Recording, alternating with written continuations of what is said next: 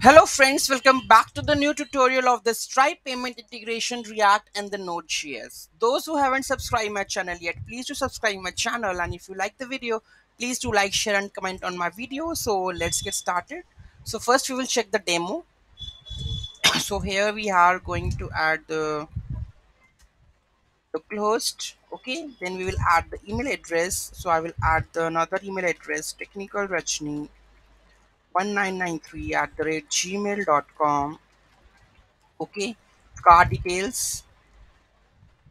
Then we will add the expiry date then cvc then the country you need to select then pay now.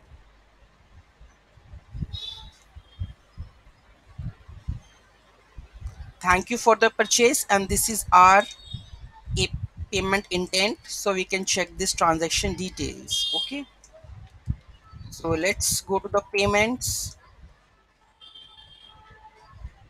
Here this is the transaction. Let's match this transaction. So this is the last transaction that we have done technical Rajni.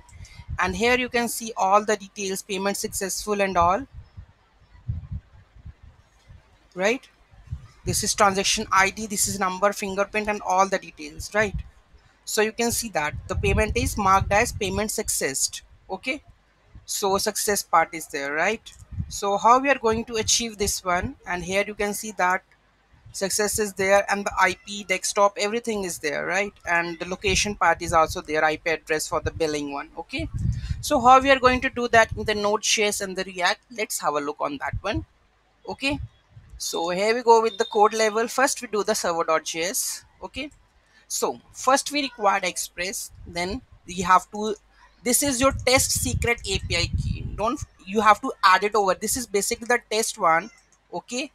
So you need to add it over here all right next we are using the express static public path and json okay? Then we have a calculate order amount like the amount which we have to replace with the, this with the constant with calculation of the orders amount right?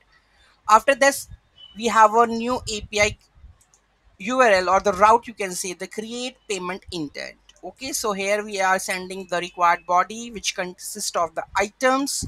Okay calculate we have the calculate amount order then the item we have to return then currency you have to send. Statement descriptor you have to add. Automatic payments enable true. Okay so this is automatic payment part right?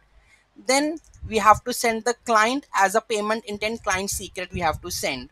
Okay then the react will use this client secret to do the payment part. Okay this is the success url this is cancel url okay and the app dot listen on the port 422 okay 4242 right? So this is the uh, server.js file in the node.js application. So you have to create this one right?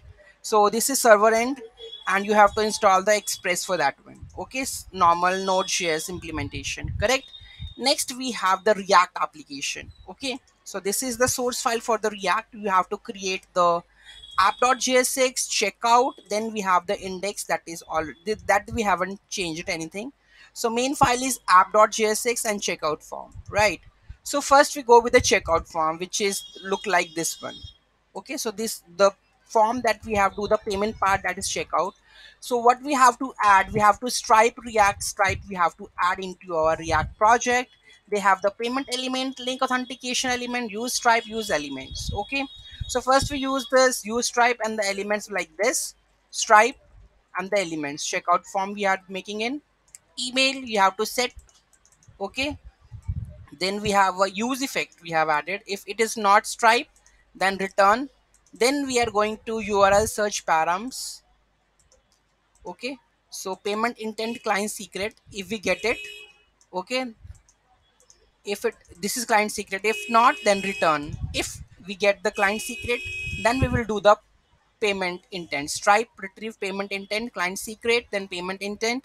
If it is succeed set set the message payment success or here you can add the redirection part like redirect to log redirect to success redirect to processing or something. You can add it over here right? So these all are the switch methods that you can see about this success processing on the behalf of it you can do the redirection of the pages. Whether there is something went wrong whether the processing the payment or payment success. Okay? So this is that one. You can do the handling of here. Okay? Next we have a handle submit. On the submit button click. If there is no stripe no elements then return. The stripe hasn't yet loaded. Okay? At that meantime. Right then set loading is to be true then we have a stripe confirm payment. If it is done then we will make the redirection to the success part. Okay payment completion page i have this redirected. Okay like this i have already done this one right? It's redirected payment successful. Thank you for your purchase right? And then this point is will only be reached if there is immediate error confirming the payment. Otherwise your customer will be redirected to the return url okay next we have a type card errors validation errors. Like uh, if the like you can say the card is wrong the cvc wrong or something you have done uh, wrong so it will show that messages. Okay unexpected error. Then set loading is to be false. Handle email change. Okay just put the email over here right? And set that one and create that one. So here we have the payment options layout tabs. Okay then this is the form that is important link authentication element id so this is payment id so you need to pass the button disable and all these parameters. And this is the message we have to show like the payment is successful or something because in the above we have already set the messages over here. You can see set the message set message this. So we are just consoling just showing the messages over here. Like the message then the payment messages over here. Whether it's to payment successful processing or something we can do it over here okay so this is the full-fledged code of the react stripe and the in the app.js what we have add load stripe stripe.js react stripe we have both added.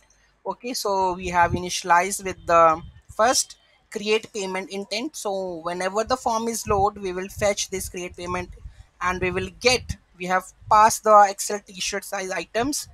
Okay then set the client secret okay the server.js file returns you can see that we have a client secret okay? So set the client secret.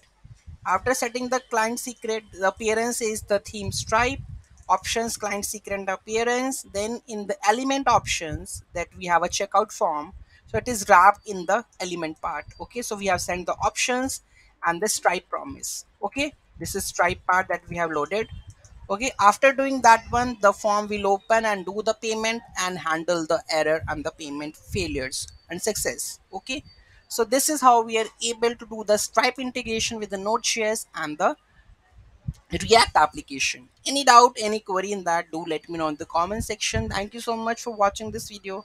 Have a great day